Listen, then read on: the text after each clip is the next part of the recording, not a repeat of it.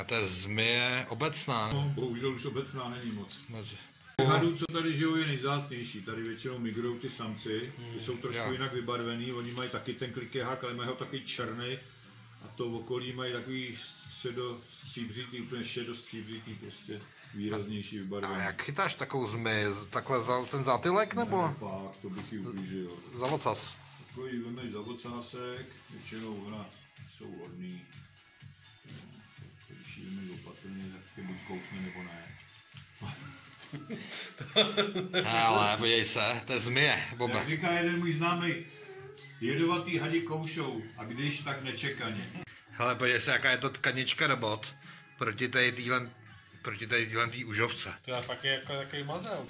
A tady to je užovka hladká, která loví jiný hady. To je krásně vidět ten rozdíl, jako když se na ní podíváš. Jo, to se, jo tak to tam to je kliky prostě, hák. jo. a tady tam má jiný Tam má jenom kliky. takový jako skvrnky. Skvrnky, potom, no. jo.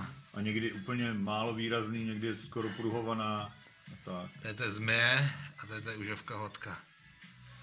A to je ta užovka stromová, zvaná eskulapka. být klidně její predátor. Ta. Teď mi zrovna v týdnu mi volal tady chlap z Damic, ne, že tam našel dva hady, jak jeden žere druhýho a, a ve finále jsme zjistili potom, že druhý den říkal, vyfotil jsem toho agresora, ne? A ona to byla užovka hladká a sežer, chtěla sežrat asi takhle dlouhou eskulapku. No a samozřejmě nedala, že jo, jenom ji zadusila a pak ji vyplivla, protože se do ní nevešla. Takže to je sekal, který si tady právě fotí.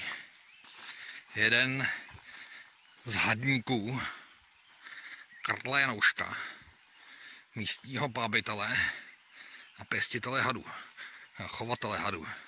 Respektive on je nechová, on je nechává rozmnožovat užovky stromový. A to je mladý herpetolog Jackie.